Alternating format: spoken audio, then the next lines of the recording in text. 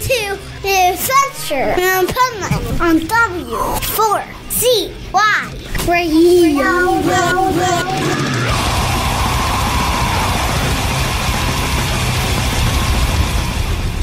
Wake up, America! It's time for the adventures of Pipe Man on W4CY.com, West Palm Beach's number one internet radio station. Here's your host, the Pipe Man.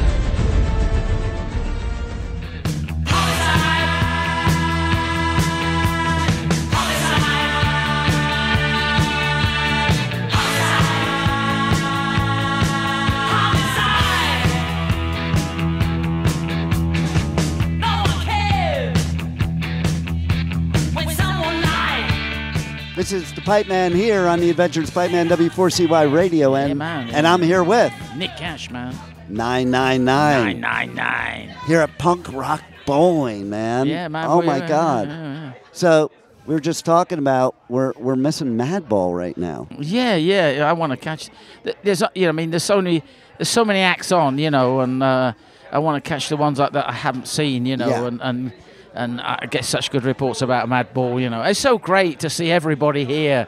There's so many good acts, and it's such a good atmosphere, isn't it? Oh, it, it, it's can't it. incredible. It's the people that make a festival, you know. no doubt about the, it. the bands do the thing, but you know, it's the it, it's it's that what makes it really is. It makes it, you know. So Absolutely, 100%. And don't you love at this festival how there's never overlapping? So if you're an attendee Mm. coming to this festival, they can watch your whole set yeah, and Madball's whole set and Yeah. every band's whole set because there's no overlapping like at other Yeah, festivals yeah, where you got to right, make a choice. yeah, that's right. Yeah, yeah, yeah. Well, I think a lot of people made the right choice when they come to see us. Yeah. It was packed right down to the street. I couldn't believe how many people were there. You know, Wow. uh, it, it was great, wasn't it? It was. Uh, you How does know, that feel after doing it as many years as, as you guys have been doing it this? feels fresh and it feels really good you know i mean the thing is w- w- what do you do you know uh, you never i never grow tired of it. I enjoy playing the songs.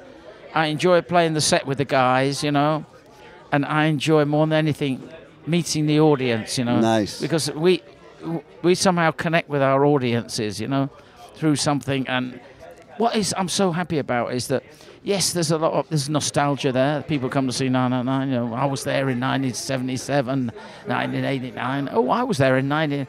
But also, you know, their children and the music. You know, the next generation like it, and then their kids like it. And there's no age limit on this music. No. This music. I'm so happy to say I think will probably outlive me. You know what I mean? I mean, I, I'm Well, one of thank God. Punk will always stick around, thank God, because not all genres have. No, no, no. It's got something for the people. The style, the clothes, the spirit, and it means something in you. I think I said that tonight on Yeah. stage, didn't I? Yeah. You can't say enough of it. I don't think you know. But but the people are so kind to us, and you know, it was just incredible. The atmosphere, you can't describe. You've got to be here, people, to, to feel it. Yeah. And and you know, it's incredible. I really enjoyed it. You know. And, And I could tell. Like, listen, I've gone to enough shows that you can tell if somebody's up there going through the motions or they're just having a great time. And I was watching you guys on stage, I'm like, man, they're just having the time of their life up there. Yeah, that's just that's what I think. You know, it was great. The people, you know, gave it up for us, and they they were there. And you see people singing, and then you can bounce off that, and you see individual people, and then you realise you I saw that guy many years ago, or that lady so many. Hey, and then and then they go and they're singing back at you, and it goes backwards and forwards, and and then you look back, and then people are pogoing and you know dancing and doing this, and and and you think this is the best place to be in the planet at the moment. You know what I mean? Right? I- 100%. I, I think if you come to punk rock bowling, you can't go wrong, can you? No, you can't. You- I love this can't. festival. I go on tour and do all kinds of music mm-hmm. festivals. It's one of my favorites just because mm-hmm. it's got so much to offer. We're one big family. There are no outcasts here. We're all in incasts. No, you can go to anybody and talk to them. You can talk about music. You can open up your life. You can talk about more things. Everybody's open and receptive. You know what I mean? It's just, I think it's such a great atmosphere. I can't. I mean, I've been out talking to so many people. I'm going to sit down and, and look at the acts. You know, they, they've got they've got nice places for it to sit, There you go. and I'm going to do that.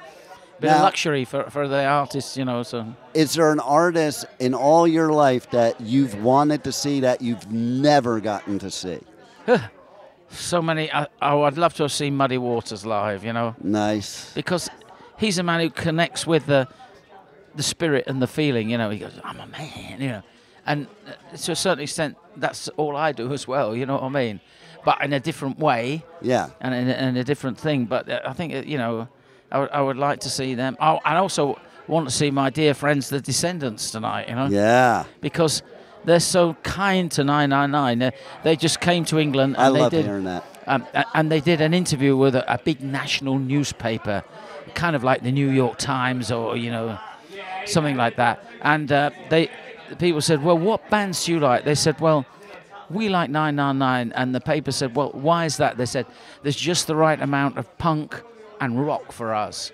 I Love thought, it. I couldn't have put that better myself. Uh, what a great way Thank to you, put it. Milo. Thank you, Milo. Right?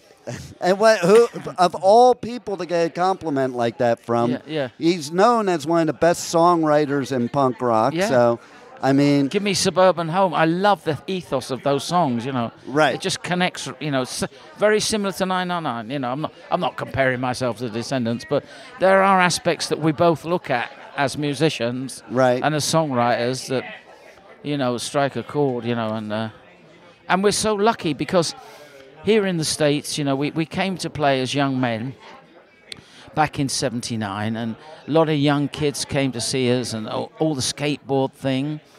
And uh, and later on these these uh, kids became producers in TV programs and the movies you know.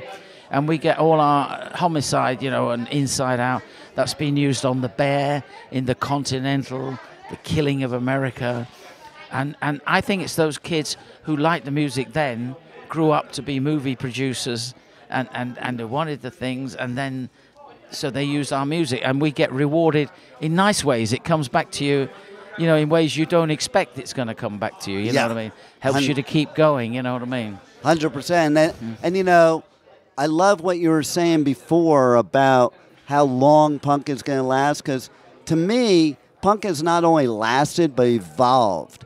Because when I was a teenager, I was a long hair, yeah and you know what that meant. Yeah I couldn't go to a punk show. Yeah, and like yeah, some of my favorite artists, I couldn't go to their shows. Discharge, GBH, Exploited, Subhumans, you know, wasn't allowed to go. Uh, it's funny because I was talking to people like Wattie and Discharge and GBH recently in interviews the past couple years. I'm like, you know, this is the first time I ever got to see you live because I wasn't allowed to when I was a, a teenager.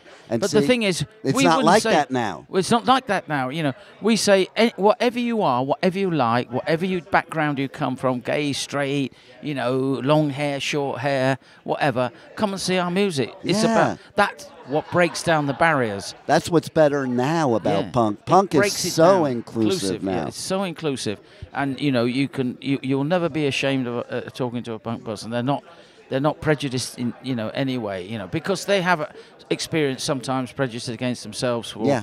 for what they have, and you know it's made them tougher, stronger people. You know what I mean? Oh yeah, And, hundred and that's what I believe. And uh, I, I don't care. I'll talk to anybody. I mean, when we first started, uh, you know, here in the States in 1979, we were one of the first bands to come in of that first wave. You know, you had bands like The Police, Ultravox, uh, XTC. Do you remember those? Yeah, yeah. We, we came in as part of that first wave, you know, and uh, and and that was really exciting, you know, because n- nobody else was doing it, and here we were all of a sudden, you know.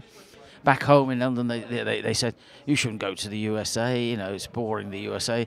And then we spoke to our fans and says, do you think we should go? They said, go. If we were you, go because. And you know what? We went and we went. It's no different, man. You know. You know what's funny about that? In the U.S., growing up, my dream was to go to the U.K. because that's where the punk scene was. You Mm. Right, know, yeah, and yeah. Mm. it's so funny because I talk to people from the U.K. and it's like coming to you. So we both are thinking the same thing. Right. Yeah. It's that's It, amazing. that's it. So that's it. I think breaks down all barriers. You know. Yeah, Now, hundred come on, let's get cameras to take a couple of shots of us together. Yeah, let's for take a couple station, okay. shots. There it is. Hey, here it is. Homicide. Homicide. Homicide. Homicide. Great. I love it. Thank you very much, and thanks for being on the Adventures Pipe Man. Thank you for listening to the Adventures of Pipe Man. on W4CY Radio.